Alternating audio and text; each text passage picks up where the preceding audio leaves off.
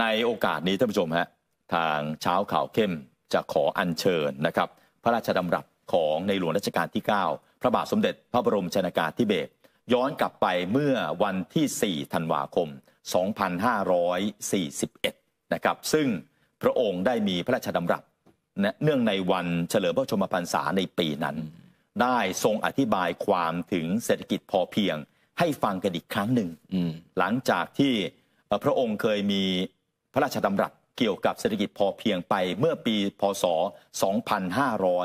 2517 เราลองนะเราลองฟังพระราชดำรัสของในหลวงของเรานะครับ ซึ่งเป็นผู้ที่ให้กำเนิดเรื่องของเศรษฐกิจพอเพียง และมีชื่อเสียงไปทั้งโลกนะฮะ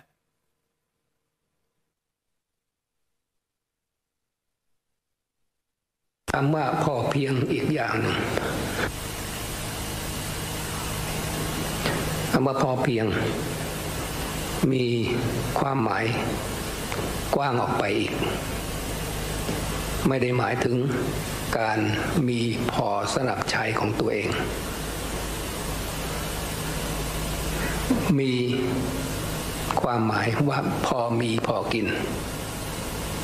พอมีพอกินนี้ ถ้าใครได้มาอยู่ที่นี่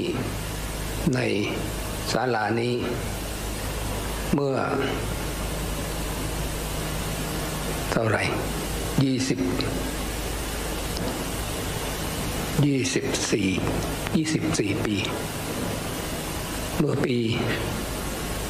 สองพันห้าร้อยสิบเจ็ดสองพันห้าร้อยสิบเจ็ดเกิดสองพันห้าร้อยสี่สิบเอ็ดนี่ก็ยี่สิบ สิบยี่สิบสี่ปี ใช่ไหมวันนั้นได้พูดถึงว่า เราควรจะปฏิบัติให้พอมีพอกิน มีพอมีพอกินนี้ ก็แปลว่า เศรษฐกิจพอเพียงนั่นเอง ถ้าแต่ละคนมีพอมีพอกิน ก็ใช้ได้ ยิ่งถ้าทั้งประเทศ มีพอมีพอกินก็ยิ่งดี และประเทศไทยก็ เวลานั้น ก็เริ่มจะเป็น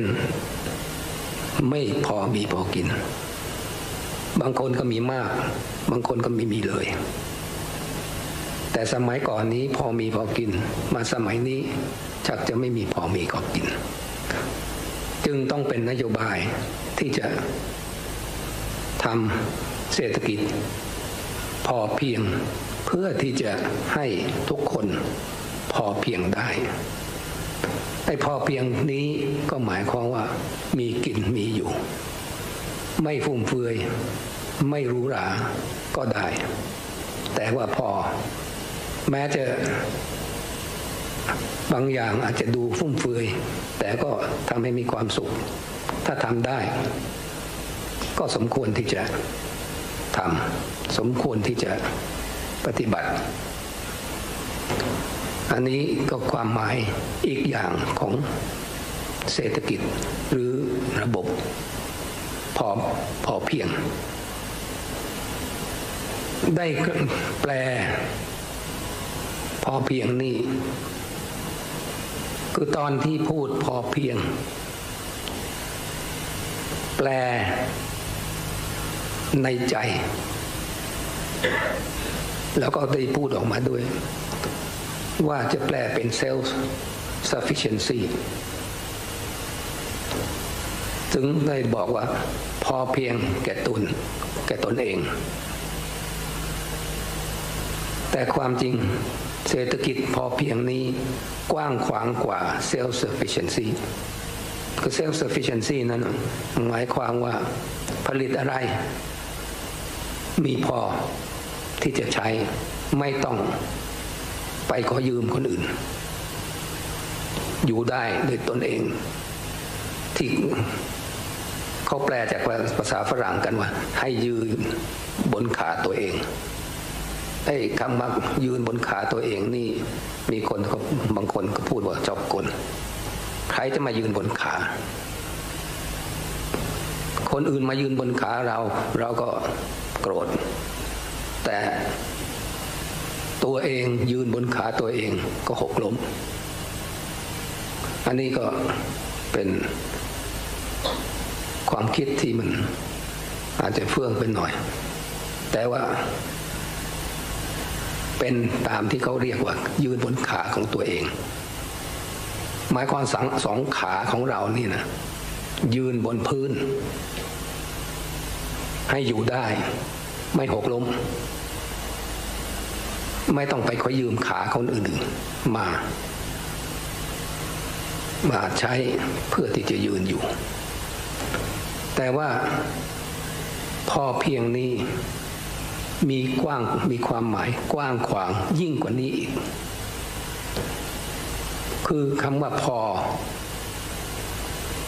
ก็เพียง พอเพียงนี่ก็พอเนี่ยนั่นเองคนเราถ้าพอในความต้องการ มันก็มีความโลภน้อย เมื่อมีความความโลภน้อย ก็เบียดเบียนคนอื่นน้อย ถ้าประเทศใดมีความคิด อันนี้ไม่ใช่เศรษฐกิจ มีความคิดว่าทำอะไรต้องพอเพียงหมายความว่าพอประมาณ ไม่สุดต่งไม่ไม่โลภอย่างมาก คนเราก็อยู่เป็นสุขไอ้พอเพียงนี้อาจจะ มีมีมาก อาจจะมีของรู้ราก็ได้ แต่ว่าต้องไม่ไปเบียดเบียนคนอื่น ต้องให้พอประมาณ พูดจาก็พอเพียงทำอะไรก็พอเพียง ปฏิบัติตนก็พอเพียง ได้ฟังกันอีกครั้งหนึ่งนะครับ อันนี้เมื่อวันที่ 4 ธันวาคม 2541 นะครับ ในช่วงที่ประเทศไทยกำลังบอบช้ำจากวิกฤตต้มยำกุ้งครับนะครับ ในหลวงรัชกาลที่ 9 ได้มีพระราชดำรัสเกี่ยวกับเศรษฐกิจพอเพียงในลักษณะขยายความ หลังจากที่พระองค์ได้ทรงพูดไปแล้วหนึ่งครั้งครั้งแรกเลยนะครับ เมื่อเออปี 2517อืม นะครับจนถึง 2,541นี่นะห่างกันแค่ไหนใช่ไหมฮะเท่าไหร่ 20 27 ปีใช่ไหมอืม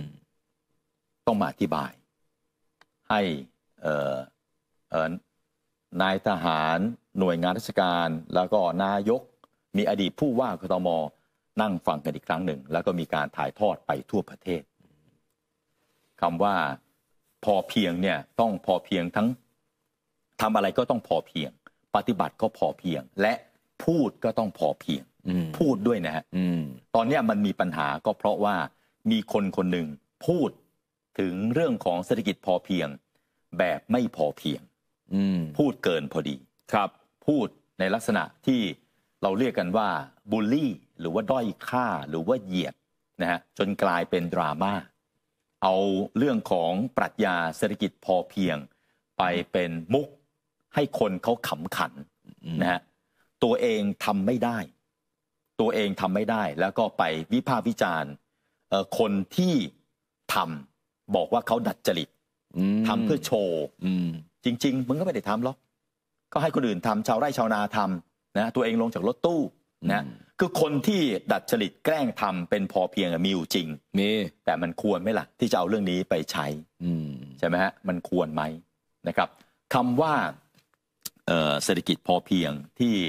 พระบาทสมเด็จพระบรมชนากาธิเบศรได้มีพระราชดำรัสนะครับ เมื่อ 20 กว่าปีก่อนนะครับ ก็ต้องประกอบไปด้วยในเรื่องของความพอประมาณนะครับ คือความพอดีที่ไม่น้อยเกินไป ไม่มากเกินไป ไม่เบียดเบียนตัวเองและผู้อื่นนะครับ และก็ต้องเป็นความพอเพียงอย่างมีเหตุผลสมเหตุสมผล การตัดสินใจเกี่ยวกับระดับความพอเพียงนั้นต้องเป็นไปอย่างมีเหตุผล และต้องเป็นภูมิคุ้มกัน หมายถึงการเตรียมตัวให้พร้อม รับผลกระทบและการเปลี่ยนแปลงด้านต่างๆ ที่จะเกิดขึ้นพเพราะเราดำรงตนอย่างพอเพียงในภาวะเอ่อในภาวะการเปลี่ยนแปลงของโลกที่รวดเร็วอืมนะฉะนั้นต้องต้องได้รับผลกระทบด้วย ก็ต้อครังบเตรียมรับผลกระทบนี้นะครับ คือ ท่านผู้ชมต้องคิดนะว่าเอ่อท่านเนี่ยคิดหลักปรัชญานี้เนี่ยถ้าตั้งแต่ปีหนึ่งเจ็ดก็ห้าสิบปีแล้วนะอืมคิดให้ก่อ50ปีนห้าสิบปีแล้วอะให้คนเนี่ยเดินสายกลางอืมคำว่าเดินสายกลางก็มัชฌิมาปฏิปทาก็เป็นคำสอนของหลักธรรมะพุทธเจ้าใช่ไหมแต่ในหลวงรัชกาลที่9เนี่ยนำมาแบบดัดแล้วก็ใช้ในการดำรงชีวิตเนี่ยอืมและท่านก็อธิบายชัดเจน ถ้าเกิดคนจะใช้ของฟุ่มเฟือยก็ใช้ได้ ถ้าตัวเองมีเงินอืมอืมใช่ไหมอืมอันนั้นก็ยังพอเพียงอยู่ เพราะเขามีเงิน เขาใช้ของฟุ่มเฟือยเขาใช้ไอ้นี่